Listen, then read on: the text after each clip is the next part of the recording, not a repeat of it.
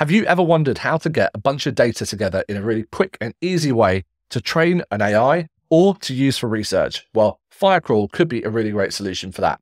Let's dig into it. Okay, thanks for joining this demo. I'm going to teach you how to use Firecrawl, which is a AI-ready website crawler. If you want to get data to train a large language model, to train a bot, or anything of those natures, having really good data is really important. Also, if you're just trying to do research as well, perhaps you want to gather a bunch of information from a whole bunch of different websites and have it structured in the same way to import into a table or put it into a database. Getting that data can be a real pain, particularly if you're doing it manually. Using something like Firecrawl, you're going to be able to do that plugged into an app like Cursor or Windsurf if you're a developer, or use it inside of things like Claude, or just play around in their playground. And that's what I'm going to do in this video. I've been playing around today with Firecrawl, which is a kind of web crawling extraction website. And as it says here, it can turn websites into large language model ready data, which particularly with building AI apps that need a lot of structured data, then this is a really good way of getting it. But it's also, I think, really useful for lots of different types of applications in kind of research as well. Basically, what it does is it allows you to scrape uh, information off of a website and turn it into text in a markdown file. If you want markdown, it's just a language for organizing text. Uh, and you could also do it in JSON, which is a structured data set that you can use to feed into a language model or use in building an application or coding or programming. When you log in, you sign up and you can get a free account and you get some initial credits to play around with, which is what I'm using here at the moment. I've not paid for this yet, just using their initial credits. And you can obviously access this through a bunch of different ways. You can set up an API call yourself if you're a developer. You can call it into tools like Claude or Cursor if you're building on the desktop using an MCP tool, which is a way of calling a machine tool into a large language model, or you could just use it in the playground. And I'll show you what that looks like. So let's say that you were putting together a review for a blog post of different, I don't know, different tools you wanted to use. I'm just going to use example here of Opus Clip to demo this now. Opus Clip, if you don't know what it is, it's a web clipping tool that takes long form content, cuts it down into cool social media clips. Really useful. I use it a lot as well. And what I'm going to do is just go grab the URL here and paste it into the playground. Now, there's a bunch of different things you can do here. They have a scrape, which allows you to pull information out of the website. You can crawl it, which will look at all of the different sub pages within that website and try and crawl all of it. You can map it, which will basically attempt to pull out all the different URLs that are in the website so you can see how the site is structured. And then you could also do the extract mode. Let's just do a simple crawl for the moment. You'll see what I uh, get here. So when we go and hit run, literally all this is doing is trying to scrape all of the information from the website, basically all of the text and emojis and stuff like that. And here you go. We've got our results here in the browser. So this is, I think, really helpful. You can see here it's got all of the information from the page and download that as a markdown file. So I can just copy it to my clipboard. And here in, the Google Doc, I could just go and paste that in. And here's all the content basically from the website all downloaded, which might be helpful. It's more useful, I suppose, when you're doing things like pulling from a blog post, for example. Maybe you want to get all the content out of a page here. So here we just go and have a look at this blog uh, item from the OpusClip team grab that full URL and come back in here to Firecrawl and give it that instead, you'll see that we get basically all of the text from the blog post pulled out into its own thing. And here you go. Here's the full text of the blog post, copied down, and also with all the, the links and everything contained within it. So that's cool.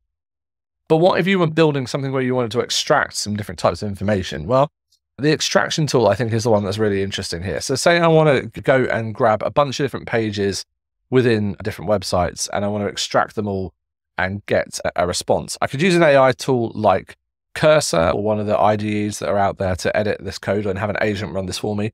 Or I could also give this command to Claude and have it run it over in the Claude desktop app as well.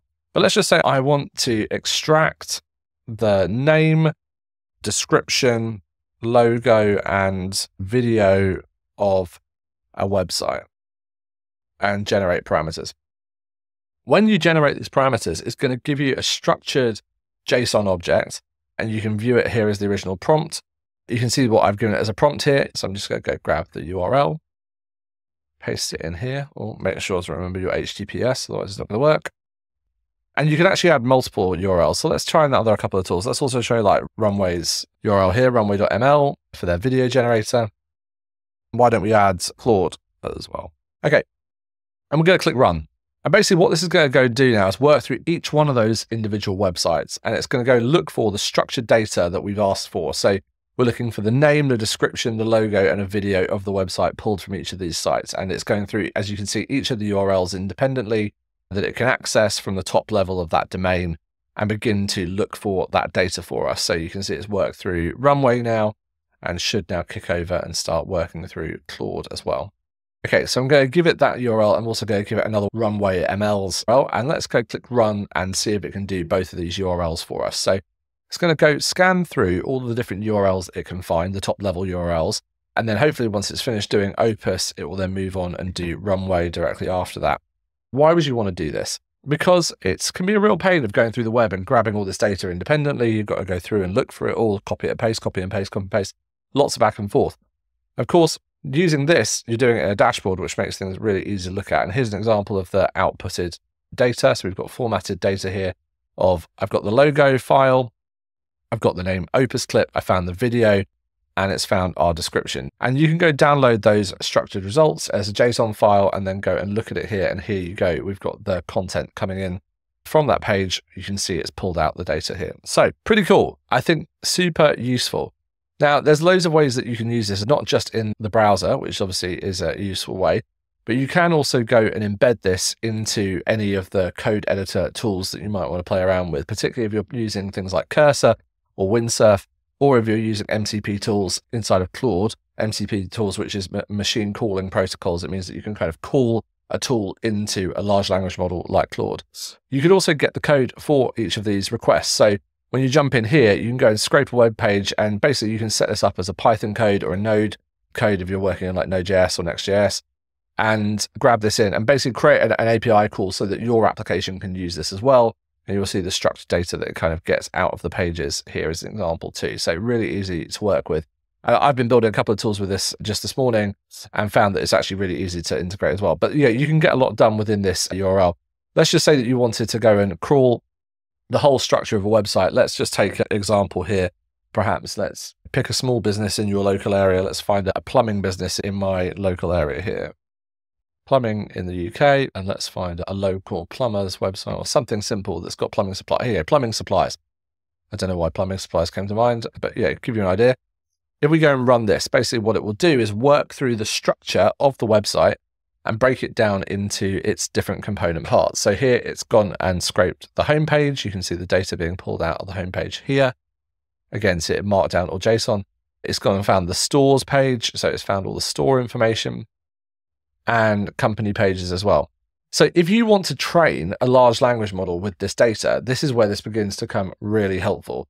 If, for example, I wanted to train a language model bot. So perhaps I'm giving it as fine tuning data or as RAG data, or if you're using something like 11 labs to create a conversational agent, giving it structured data is really helpful. And so if you pull this stuff out in JSON format or in Markdown format and clean it up a bit, this is a really good way of giving it a bunch of source knowledge based material to get an AI agent trained on this data. So Firecrawl, I think really interesting thing to play around with, and I think really useful if you are trying to create this kind of structured data sets to train your LLMs with. A bunch of free credits when you kind of start in there. You get the first 500 pages for free, and then it's about 3,000 uh, for 3,000 pages, which I'm sure will sort most people out monthly for $16 a month. So pretty useful. But if you're struggling to get data into training a language model or building an AI bot, this can be a really helpful plugin to use. And I've, like I say, I've already got it set up and running in my cursor instance and playing around with it in Claude as well and found it really useful. So let me know in the comments below if you found this useful or if you've got use cases for doing this,